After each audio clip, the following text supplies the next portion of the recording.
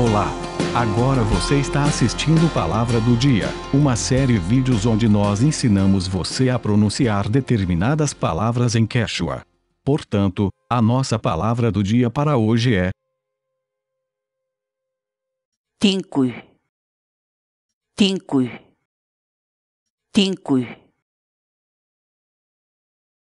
em português, a palavra Quechua Tincui. Significa encontrar-se depois de um longo tempo. Por exemplo, Tincunaku sunchis watamangnya.